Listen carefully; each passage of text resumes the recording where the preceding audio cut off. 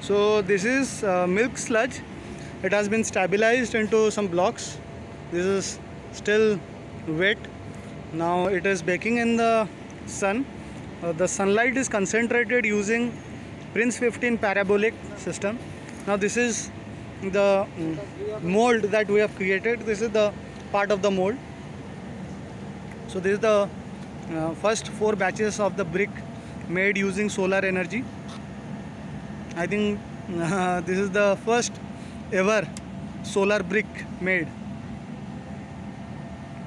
So we are conducting more experiments. We have a solar cooking system in which we are also uh, heating up the sludge. So here steam is also coming out of the sludge.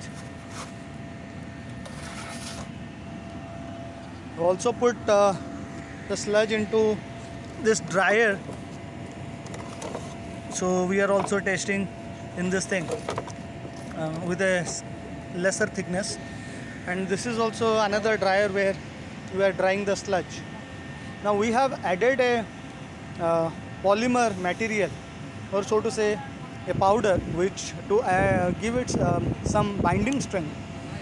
And uh, here uh, with the naked eyes i can see steam coming out of the brick because of the concentrated uh, sunlight that is falling on the this side of the brick it's a very mm, uh, uh, concentrated sunlight that is falling on that part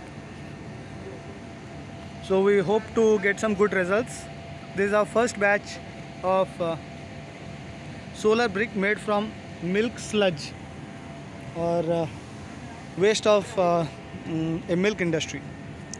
So we'll be sharing more updates soon. This is Saswat Panda and team signing off from Konark, the solar city.